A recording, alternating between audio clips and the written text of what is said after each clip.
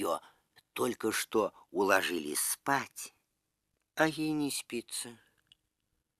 Ну, не хочется человеку спать, и все. И кто только придумал эти кровати, одеяла, подушки. Вы, как и Маша, не можете заснуть, утром не можете проснуться, а потому стали раздражительными и несобранными. Эта ситуация знакома многим и носит название бессонница. В идеале сон человека должен длиться от 6 до 8 часов. Только гений вроде Леонардо да Винчи, если верить легендам, мог спать 2 часа в сутки, но он на то и гений, чтобы отличаться от обычных людей. Для всех остальных недосып крайне вреден. На здоровый сон влияет, во-первых, режим дня. То есть человек должен соблюдать циркадные ритмы, то есть ложиться в одно и то же время, желательно вставать в одно и то же время. Это прямо в идеальных условиях. Э, если мы смотрим про внешние условия какие-то, значит комната должна быть проветрена, воздух свежий, э, не сухой, то есть какие-то увлажнители можно использовать. Это э, проблема общая, врачебная. То есть нарушения сна, они могут быть связаны с какой-то органической патологией, допустим, как мои пациенты, которые перенесли инсульт, травмы какие-то, Допустим, пациенты с болезнью Паркинсона, они также имеют нарушение сна. Это может быть даже как один из симптомов начала раннего э, Паркинсона. Также пациенты, допустим, с проблемами патологии в спине, они очень часто имеют проблемы со сном, потому что просто больно, то есть при повороте каком-то они испытывают боль, они просыпаются, качество сна нарушается. Свою игру с брещанкой Зоя Григорьевна бессонница начала после ряда неприятных жизненных ситуаций. Беспокойство в течение дня переросло в жуткую тревогу ночью. Сон не приходил. Одна ночь, вторая, третья. Как следствие, обращение к врачу. У меня много проблем, я вам скажу честно. Бессонница, посыпаюсь ночью, могу час-два лежать, вообще не уснуть могу в 5 проснуться, и уже 4 это уже вообще, я тогда уже не это, не хочется мне их снотворные.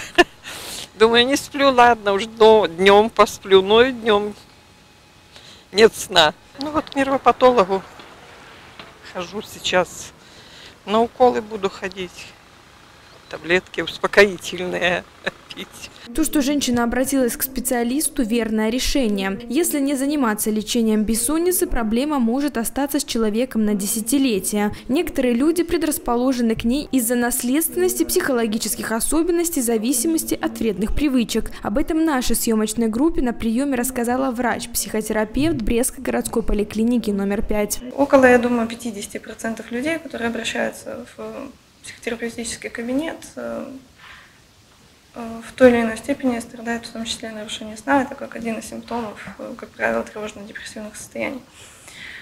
Э, вот. Поэтому сон нарушается, нарушается часто, и последствия его, естественно, это тоже и раздражительность, и конфликты в семье, и э, снижение концентрации внимания, памяти. Это все отражается и на работе человека, и Э, в его различных аспектах жизни. То есть это очень важный вопрос, поэтому, э, конечно, очень хорошо, когда люди обращаются к специалистам, не терпят, не эм, не усугубляет эту проблему. Помимо неправильного образа жизни и тревожности, здоровый сон может также нарушить храп или апноэ. О том, что человек храпит по ночам, он может и не догадываться, а вот его близким не позавидуешь. Однако храп не просто мешает другим спать, это симптом опасного состояния синдрома апноэ. Часто пациенты обращаются с такой проблемой, но чаще их приводят, конечно, родственники. А, храп, э, значит, первоначально человек должен быть обследован у лор-врача. Э, он сделает полный осмотр верхних дыхательных путей и уже сориентирует пациента, чтобы он прошел э, комплексное обследование, которое будет себя включать полисомнографию совместно с врачом-сомнологом и слип-эндоскопию. Такой новый метод исследования, при котором человека погружают в медикаментозный сон, и с помощью такой маленькой камерки эндоскопа смотрят его проходимость верхних дыхательных путей. По статистике чаще это мужчины, э, влияет э, сильно лишний вес, ожирение.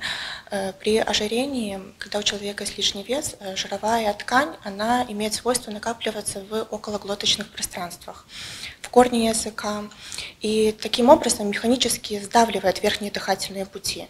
И появляется храп. У меня было очень много килограмм, 124. Я начала худать. И немножко, я, конечно, полная все равно, но почти на 30 килограмм похудала, и сон нормализовался у меня. Я вот хожу, э, мне 56 лет скоро, я начала ходить на латиноамериканские танцы стадион Динамо. Все супер, нормализовалось. Я когда танцую, я не чувствую ни ноги, мне болят или не болят. Я не знаю, у каждого свое. Позитив. Жить надо хорошо, как бы